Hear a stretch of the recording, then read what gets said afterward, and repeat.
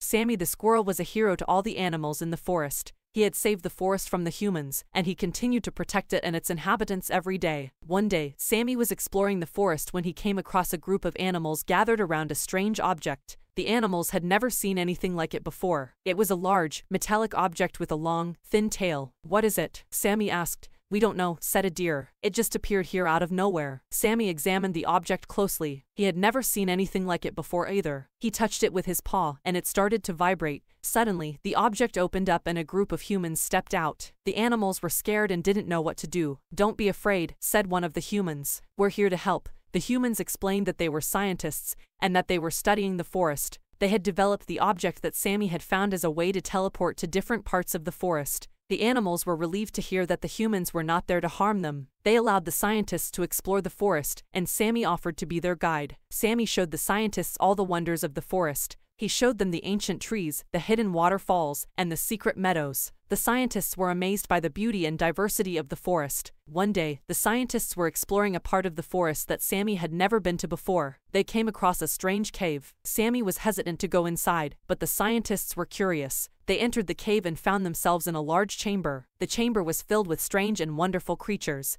There were glowing mushrooms, talking flowers, and singing rocks. The scientists were overjoyed. They had discovered a new and amazing world. They spent the next few days studying the creatures and the chamber. Sammy was fascinated by the creatures. He had never seen anything like them before. He befriended a talking flower and a singing rock. They taught him all about their world and their culture. Sammy learned a lot from the creatures. He learned that they were a peaceful and harmonious people. They lived in harmony with nature and with each other. Sammy also learned that the creatures were in danger. A group of evil humans had discovered the cave and were planning to exploit its resources. Sammy knew that he had to do something to help the creatures. Sammy returned to the scientists and told them about the evil humans. The scientists agreed to help Sammy protect the creatures and their home. Together, Sammy and the scientists devised a plan. They would lead the evil humans away from the cave and into a trap. The plan worked perfectly. The evil humans were captured and Sammy and the scientists were able to save the creatures and their home. Sammy was a hero once again. He had saved the creatures from the evil humans and protected their home. He was a true friend to all the creatures in the forest. Sammy continued to live in the forest, protecting it and its inhabitants. He was a beloved member of the forest community, and he brought joy to all who knew him. He was also a reminder that even the smallest creatures can make a big difference in the world.